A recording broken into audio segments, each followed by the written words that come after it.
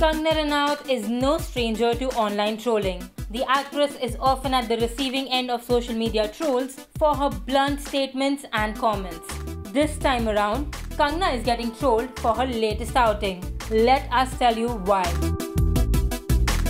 On Tuesday, Kangna Ranaut was spotted at her Pali Hill office that was partially demolished by the BMC. She wore a white easy breezy dress with bell sleeves and white rimmed sunglasses.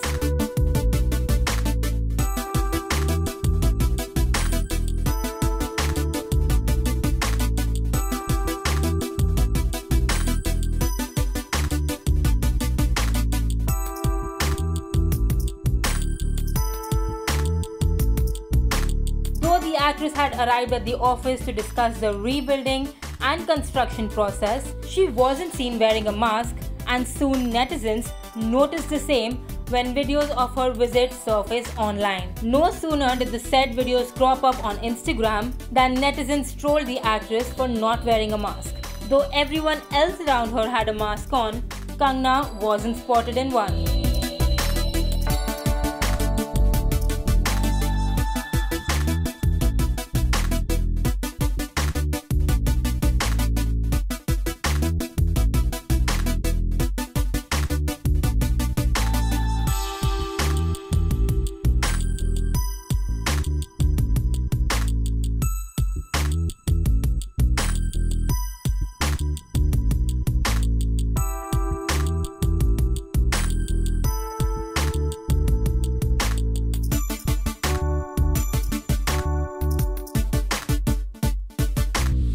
Recently, Kangna was trolled for her reply to Ayushmann Khurrana, who complimented Yami Gautam's post about her pre-wedding look.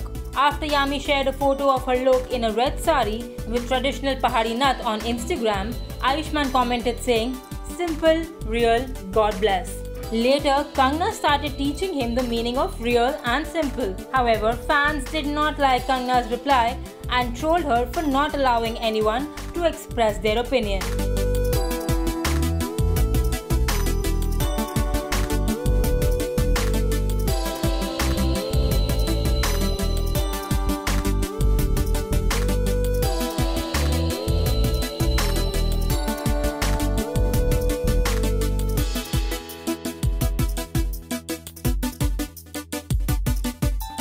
Meanwhile, on the work front, the actress will be seen in Dhakad and Tejas.